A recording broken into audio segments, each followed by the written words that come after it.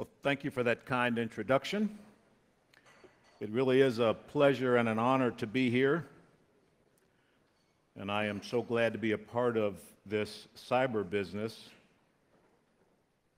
You know, I brought my prepared remarks on an iPad, so this is a test for everyone who's out there to see whether anyone's interested in hacking into my iPad to see if I can successfully lose my remarks. Now, I purposefully brought some prepared remarks, and I'll try to zip through those reasonably quickly and then have the opportunity for you to ask any questions. You know, as I look out at the audience here, I've been to a lot of conferences in my life, and it really strikes me that I don't know that there's a more full spectrum of different types of faces and people from military to academia to industry to interested observers. And I find that that's why cyber is so important. Now, I do have a disclaimer here. If you look up here in the front, you'll see a group of uh, really young faces, a bunch of midshipmen from the United States Naval Academy and so I was smart enough to bring my own fan club. So in case you ask some really tough or challenging questions, I'll just turn to them and they'll clap real loudly and smile. This, um, this business here for the U.S. and the Naval Academy, it, it strikes me that um, we've stood up a, an academic major in the area of cyber because we view this so important but I'll tell you, I'm not here as a, as a U.S. Navy man. I'm actually here representing NATO's Allied Command Transformation. So I'm wearing a neat uniform because I love it, but I'm here on behalf of NATO's Allied Command Transformation. And so I send greetings from General Jean Paul Paloméros, who's my boss. And we at Allied Command Transformation are the only NATO headquarters in the, uh, in the United States. And so we have this really unique opportunity to work with the transatlantic bond across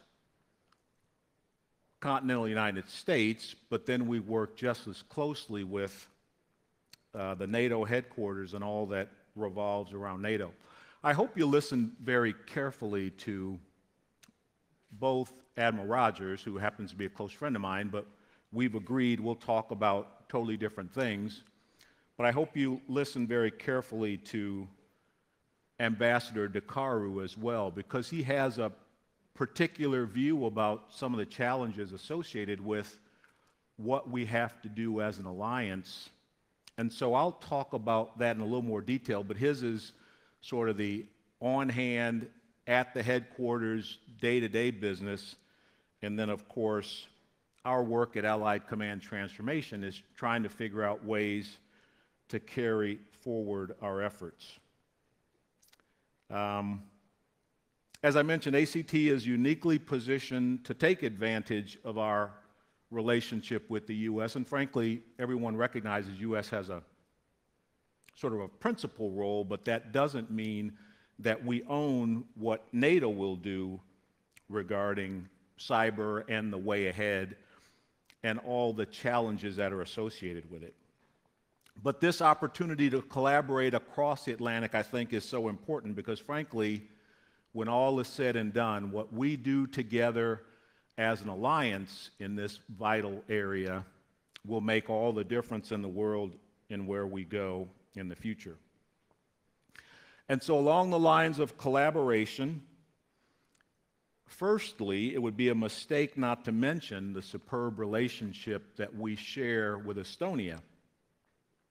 And it is a wonderful relationship indeed. As you know, Estonia has played a significant role in the improved capabilities of cyber, and of course, the relationship that we also have with the Center of Excellence. And ACT plays a big role in the accreditation of our centers of excellence, but frankly, the, uh, the team at the Center of Excellence has just marched forward uh, in trailblazing ways, and we're really happy about that relationship. And in fact, for the last three years, Estonia has been the home to NATO's and probably the world's largest annual cyber exercise, cyber coalition exercise. We'll be holding another one here in November.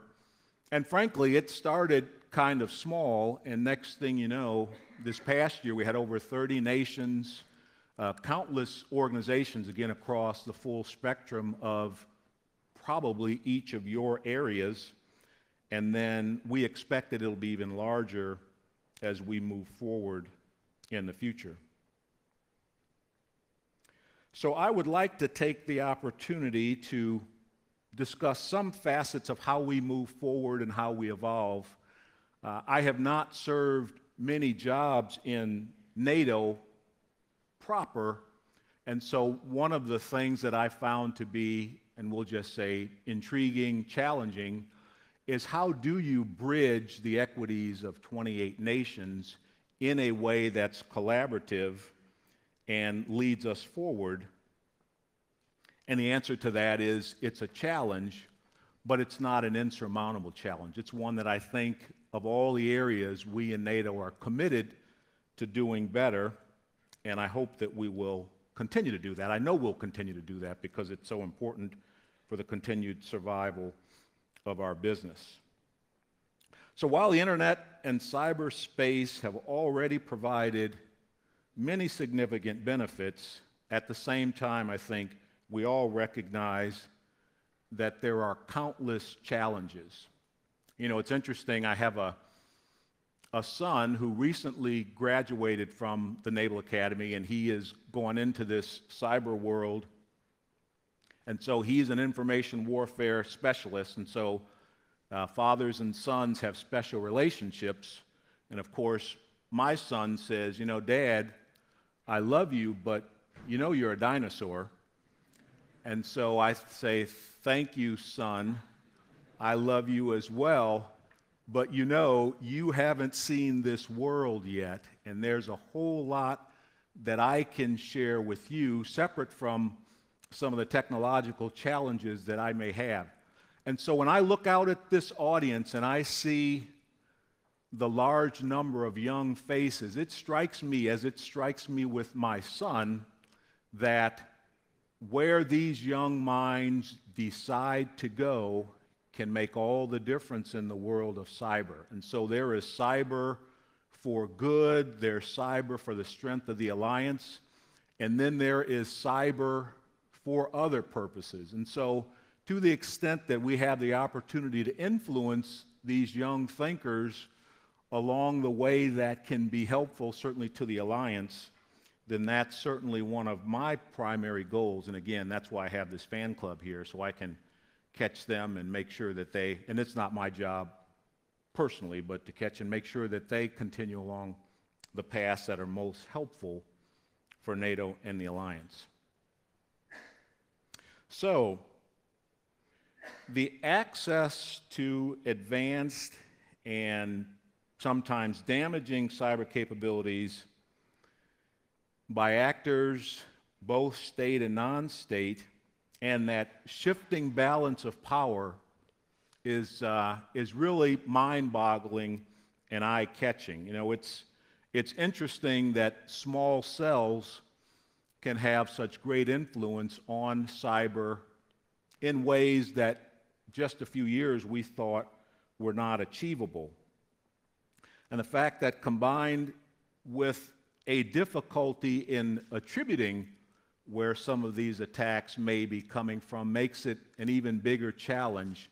And frankly, it's a challenge that we, as single nations, as single entities, I suspect can't handle all on our own. And it really will take a continued collective effort, and not just military, not just the political military organization of NATO, but that with academia and industry. Frankly, industry has such a leading role, as the ambassador mentioned. It's the collaboration with industry that will make such an important contribution as we go forward.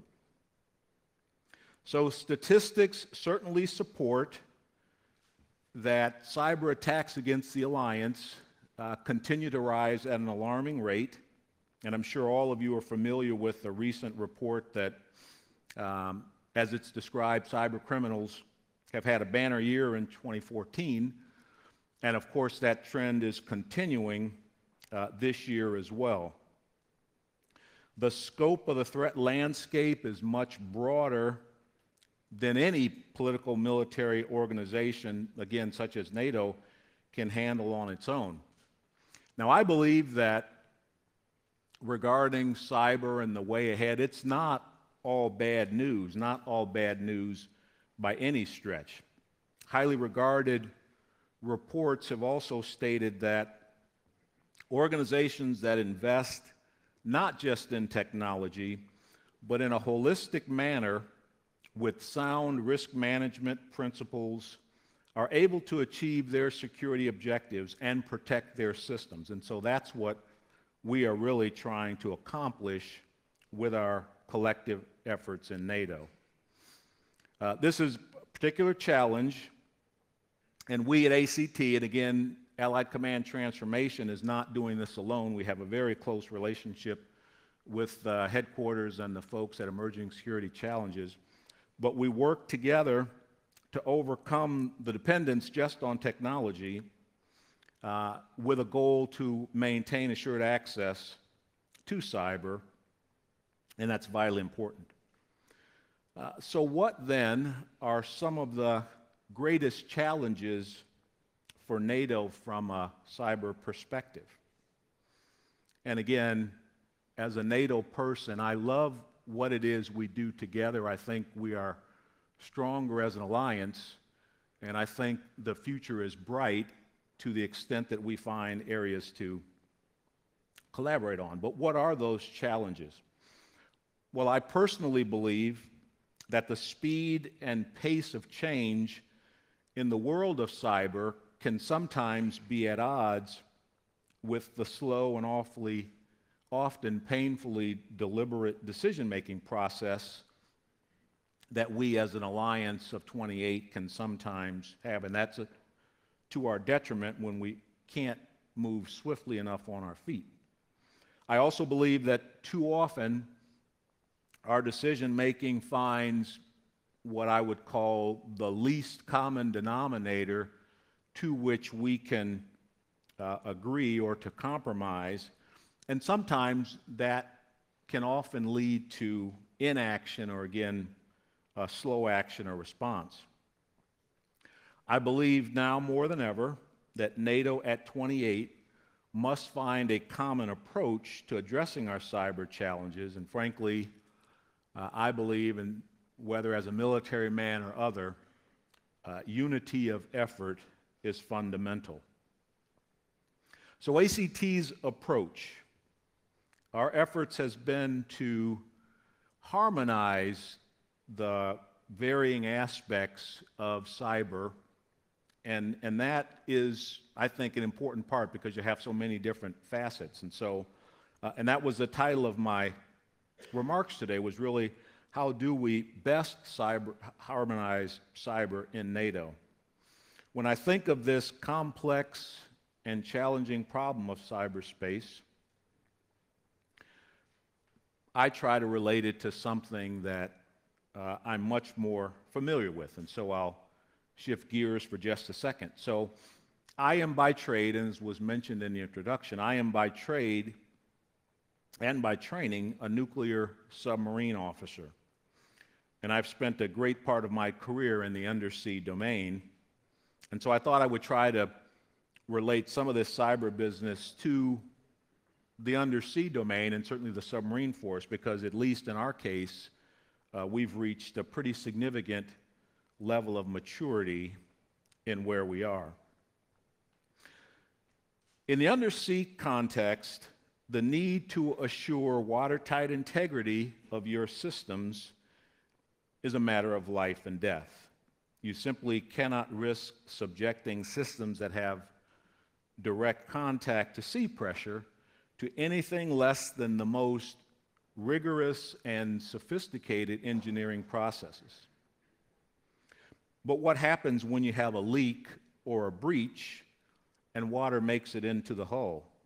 Well,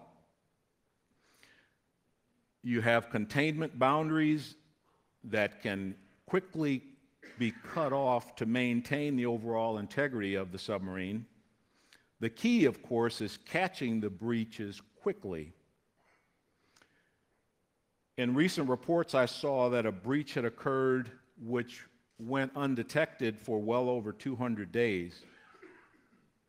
It takes little imagination to guess how a 200 day breach on a submarine might have affected it. I suspect the submarine wouldn't have lasted more than a day or so. But catching the breaches quickly uh, is critical to maintaining, again, in our case, watertight integrity. Knowing what areas are more critical than others and ensuring that they can be contained quickly and easily are essential to being able to continue operations. So, in short, harmonizing all aspects of the submarine is vital to its survival.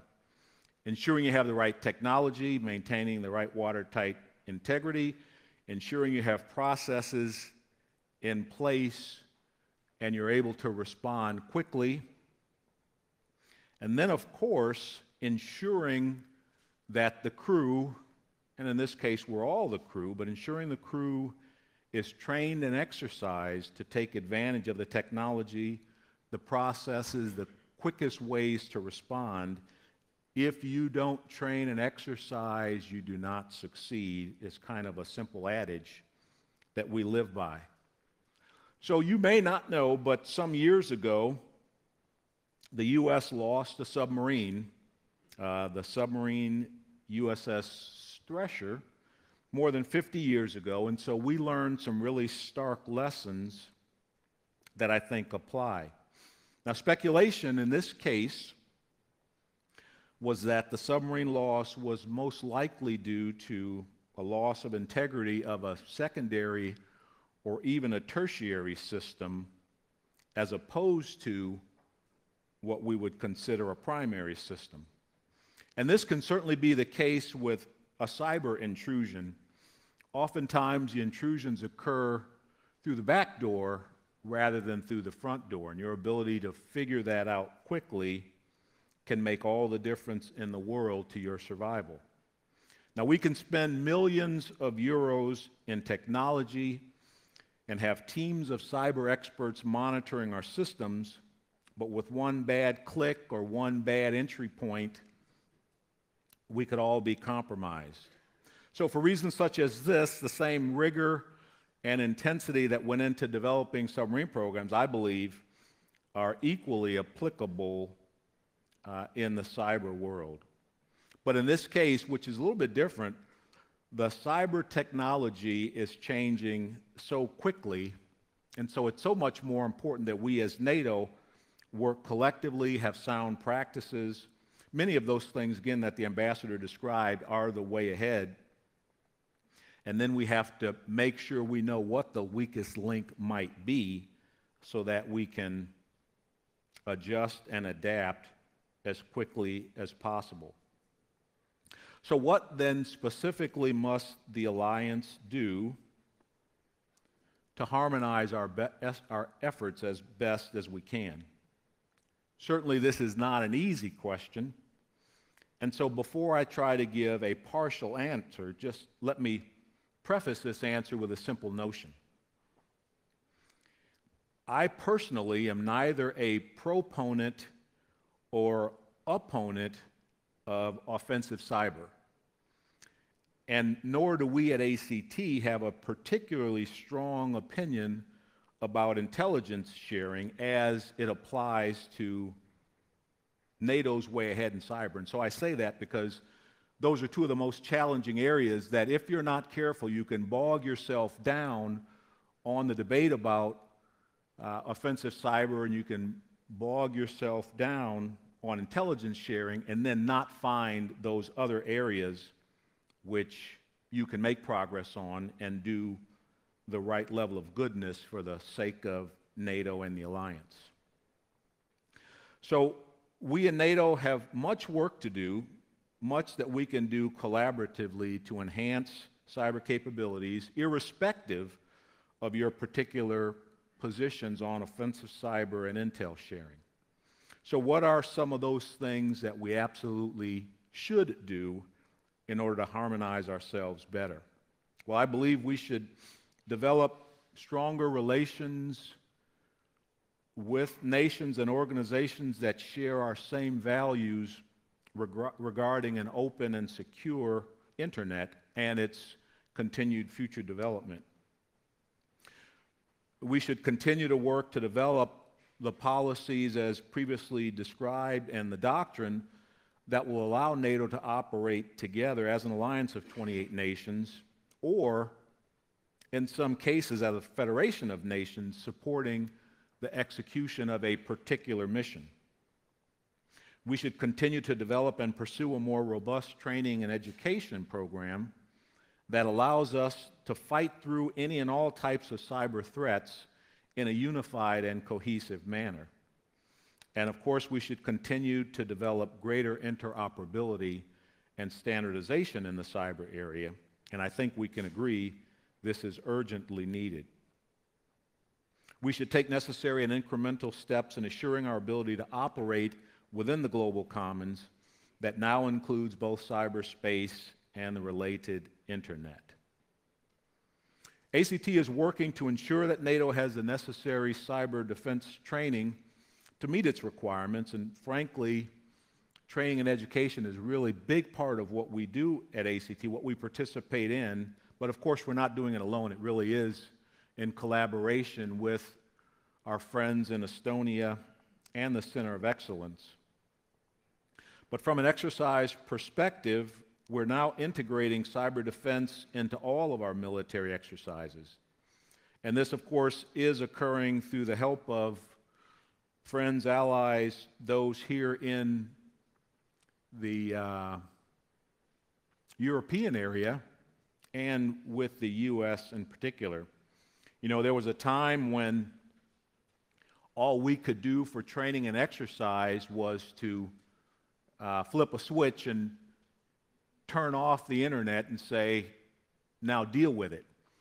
We're much farther advanced now and to the point where we're trying to inject signals, uh, false signals, trying to slow down processes. Um, and we need creative minds to help us work our way through developing scenarios that we can inject into our cyber exercises so that it's fulfilling, it's useful, and it's actually challenging. But that is the life that we lead, again, in collaboration with our friends here in Estonia. Now, just recently in the news, there was an example of how Romania is leading an effort to help Ukraine defend its networks and improve its cyber defenses. If we continue to take this same effort and get the very best from the many smart people and organizations that we can partner with and who can contribute to our improvement, then overall, I think we'll be on a great path. I believe we have a real opportunity today to be more capable in cyber as a cohesive alliance if we choose to move forward again in those areas in which we can achieve consensus. We have seen the benefit of harmonizing and the great work that is going on in academia and industry as well. And so, again, we can't do it without you. And so, our collaboration with you will make all the difference in the world. We must not forget that NATO has been engaged in continuous transformation since it was founded in 1949. Since that time, it has adapted its policies, capabilities, and structures as required to deal with the current and future threats, including collective defense of our members. And so, in conclusion, I'd just like to thank the Cooperative Cyber Defense Center for the invitation to be here. It's really been an honor to share some time with you. I look forward to this continued work. It's my honest opinion that there appears to be a wave of change that is building within the alliance, and it's our collective responsibility to recognize this and continue to build on the progress that has been made today, to date. If NATO is able to continue to harmonize and build consensus in the arena of cyber, it will in turn raise the level of cyber defense and cyber security among all its members. So thank you again for your time and attention, and I'm happy to field a couple of questions.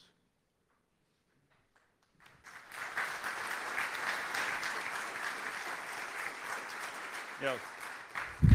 Yes, thank you, Admiral, for your, for your inspiring speech. And actually, we, we share this idea of harmonizing in cyberspace. This is actually one of the major objectives of CyCon, that we meet, that we share our ideas, that we learn from each other, and that we ask questions, of course. So the floor is open for questions. Thank you. Uh, Kubo Mačák, University of Exeter. Thank you for your speech, sir. Uh, I have a question about ACT's uh, Global Commons Report 2010, uh, which was actually produced here in Tallinn. And in this report, uh, the area of cyber is, uh, is, linked to the area of uh, nuclear deterrence. The report says that while NATO has effective nuclear deterrent, this, is, this is a goal for the upcoming years. And the goal, if, if I remember correctly, the report says is to build a credible cyber defense capability. Sir, could you evaluate five years later whether this goal has been achieved and perhaps elaborate on that a little bit? Thank you.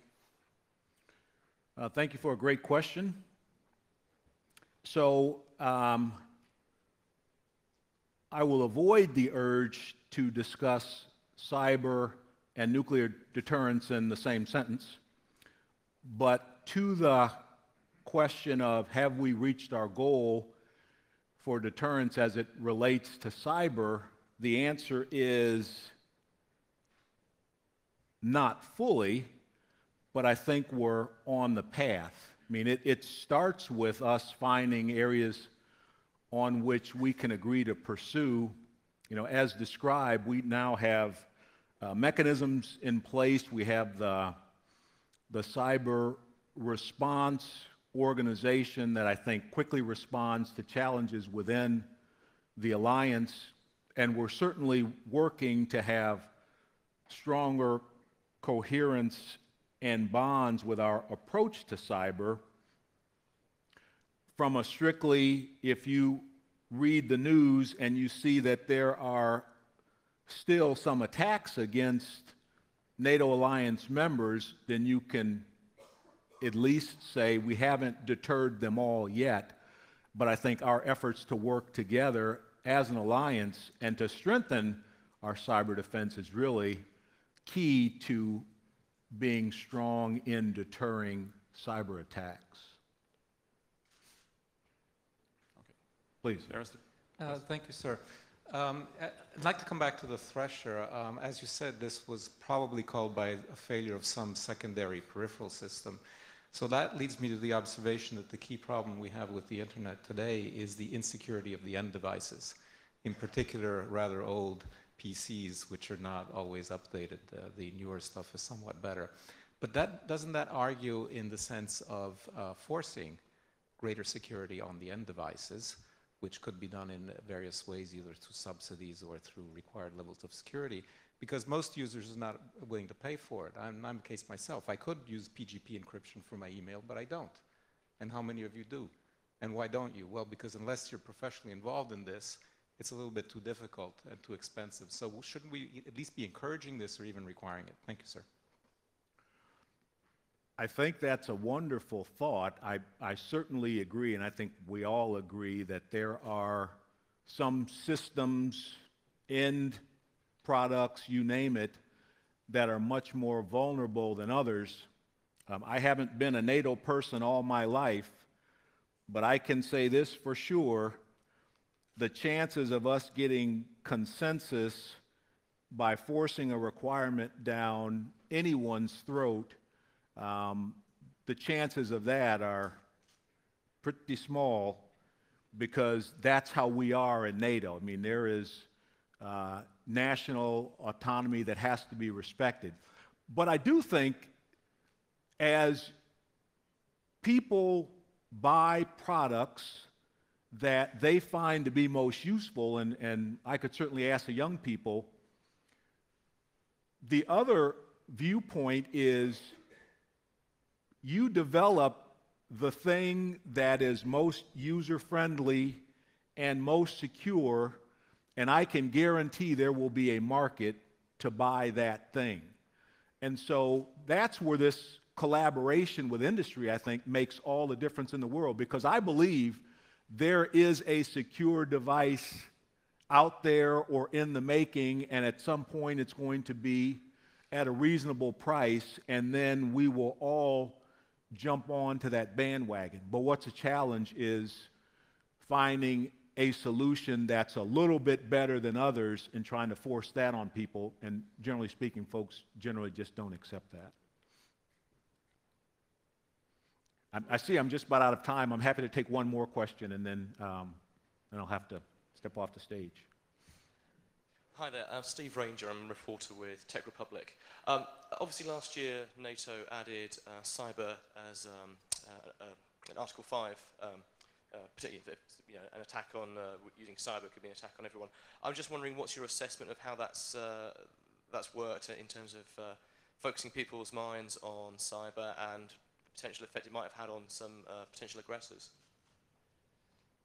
Uh, that, that's a great question. Did everyone hear the question? It's sort of the, the Article 5, how does that apply in the cyber world, and then where do we go from there? And so Ambassador mentioned it. It's, it's really an important concept.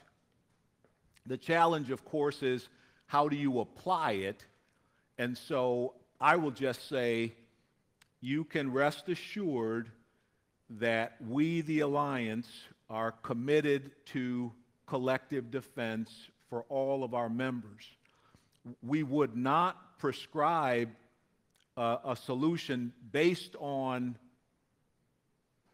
any particular theoretical uh, incident, but we certainly recognize that we have a, uh, a political process that will consider whatever the threat or attack might have been, and then we'll go forward. But the underlying principle and a big part of why NATO has been so successful and why the alliance has been so successful for 66 years is that the world recognizes we are serious about collective defense of all of our members, irrespective of what that threat may be, cyber or other. Yep. Great. Thank you again, Admiral. And uh, for you as well, we have the mug, uh, Estonian handcraft, as a souvenir, not only from the conference, but also from Estonia.